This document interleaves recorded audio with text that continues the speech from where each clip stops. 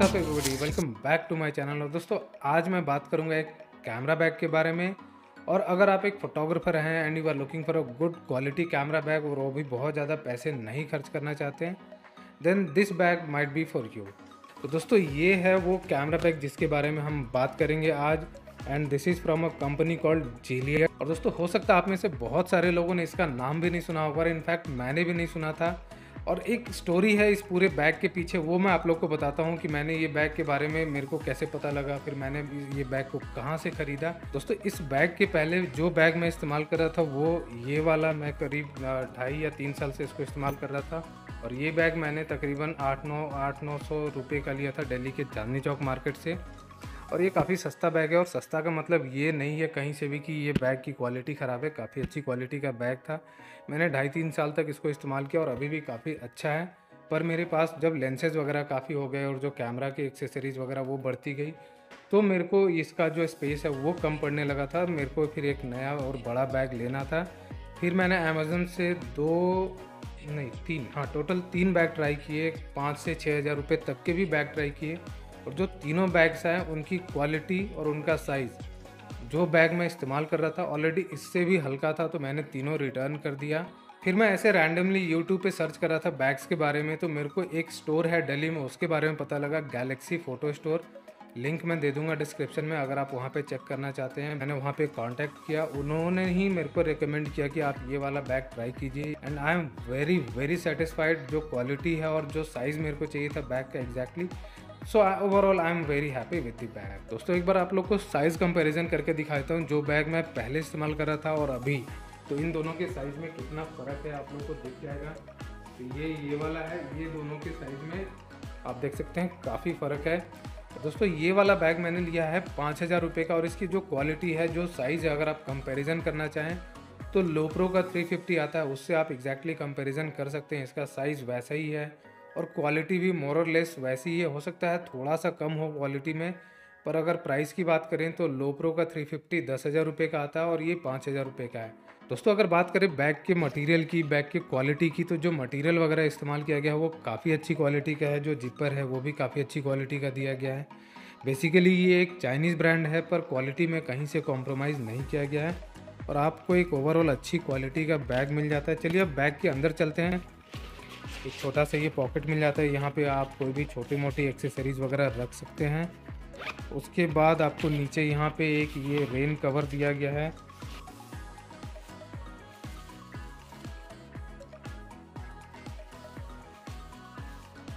और यहाँ पे ये वाला जो सेक्शन है, यहाँ पे आप अपने ट्राईपॉड को लगा सकते हैं। नीचे आपको ट्राईपॉड का बेस के लिए भी दिया गया इसके अंदर आपका ट्राईपॉड हैंग हो जाता है। और फिर इस तरीके से आप टाई कर सकते हैं ऊपर से। तो आप बड़े आराम से फुल साइज़ का ट्राईपॉड भी कैरी कर सकते हैं इस बैग में।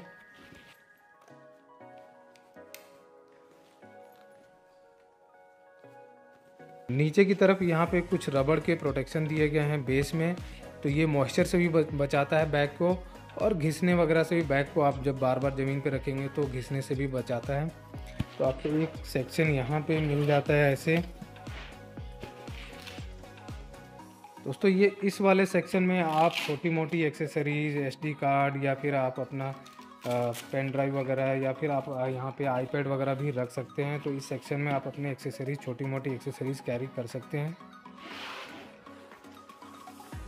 अब चलते हैं बैग के मेन सेक्शन में दोस्तों। और जो जिपर की क्वालिटी है, वो काफ़ी अच्छा दिया गया है और वाटर प्रूफ है। इस, यहाँ से आपका पानी वगैरह भी अंदर नहीं जाता। और जैसे ही दोस्तों आप मेन कंपार्टमेंट में जाते हैं, आपको एक छोटा सा और ये फ्लैप मिल जाता है यहाँ पे, जो कि जिपर की मदद से इस तरीके से बंद हो जाता है। तो जैसे ही आप अपना कैमरा बैग खोलेंगे तो आपका कोई भी गियर या कोई भी एक्सेसरीज अचानक से बाहर ना आए। तो ये प्रोटेक्शन के लिए this is a very nice touch तो यहाँ पे अंदर की तरफ़ स्पेस काफ़ी मिल जाता है आपको और आप बड़े आराम से एक या दो कैमरा बॉडी चार से पाँच लेंसेज वगैरह और बाकी सारे एक्सेसरीज़ वगैरह फ्लैश वगैरह कैरी कर सकते हैं। अगर आपके पास कोई टेलीफोटो लेंस है तो वह, उसको भी बड़े आराम से आप कैरी कर सकते हैं, काफ़ी सफिशेंट साइज़ है। और जो कुशनिंग है, जो मटेरियल है, वो भी काफ़ी अच्छे क्वालिटी का दिया गया है। मतलब पाँच हज़ार रुपये में इतने अच्छी क्वालिटी का मटेरियल आपको मिल जाता है which is a very good thing और मतलब मेरे पास कंपैरिजन के लिए लोप्रो नहीं है इस वक्त। पर I am hundred percent sure कि जो लोप्रो की क्वालिटी है, उससे कहीं भी कम नहीं है ये। क्वालिटी वाइज कहीं से कोई कॉम्प्रोमाइज़ नहीं किया गया है, चाहे वो कुशनिंग है, चाहे वो बैग का मटेरियल है, कहीं से किसी भी तरीके का कोई कॉम्प्रोमाइज़ नहीं किया गया है और काफ़ी सफिशेंट स्पेस है इसके अंदर। उसके बाद फिर यहाँ पे भी आपको कुछ स्पेस मिल जाते हैं, जहाँ पे आप अपने एन फिल्टर्स वगैरह या एसडी कार्ड वगैरह जो भी आप कैरी करना चाहें।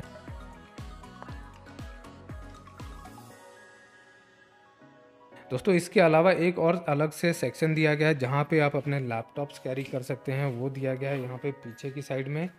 तो यहाँ पे भी काफ़ी स्पेस है। आप आराम से 15 इंच तक के लैपटॉप को कैरी कर सकते हैं। तो overall in terms of space in terms of quality और जो पैडिंग वगैरह है, वो काफ़ी अच्छी दी गई है। और बैक साइड में जो यहाँ पे आपको कुशनिंग या फिर जो पैडिंग है, वो भी काफ़ी अच्छा और काफ़ी कंफर्टेबल दिया गया है। और ये जो पूरा मटेरियल है, ये ब्रीदेबल मटेरियल है। तो आपको पसीने वगैरह भी बहुत कम आएँगे इस बैग को, अगर आप बहुत लंबे समय तक टांगे रखते हैं अपने शोल्डर पे। तो ये पूरा ब्रीदेबल मटेरियल है स्ट्रैप में भी तो आपको पसीने वगैरह भी कम आएँगे। और नीचे की तरफ़ यहाँ पे आपको एक वेस्ट स्ट्रैप भी मिल जाता है तो आपका जो शोल्डर का वेट होता है वो भी डिस्ट्रीब्यूट हो जाता है, पूरी तरीके से शोल्डर पे वेट नहीं आता।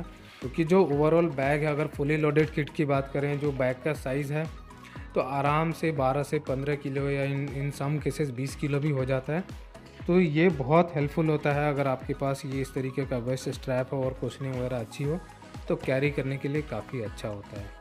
और दोनों साइड में आपको यहाँ पे ये पाउच मिल जाते हैं, जहाँ पे आप वाटर बॉटल या फिर छोटा मोटा ट्राईपॉड या फिर आप कोई गोरीला पॉड वगैरह कैरी करना चाहते हो तो यहाँ पे बड़े आराम से डाल के कैरी कर सकते हैं। तो गैस अगर बात करें ओवरऑल बैग की in terms of quality in terms of space तो ओवरऑल सारी चीज़ें मेरे को अच्छी लगी मटेरियल अच्छा है जिपर की क्वालिटी अच्छी है, जो स्ट्रैप्स वगैरह इस्तेमाल किए गए हैं, उनकी भी क्वालिटी अच्छी है, जो आपको बकल्स मिलते हैं यहाँ पे क्विक रिलीज़ बकल्स उनमें भी कहीं से क्वालिटी में कोई कॉम्प्रोमाइज़ नहीं किया गया है। So guess if you are looking for a good quality camera bag in a budget you should try this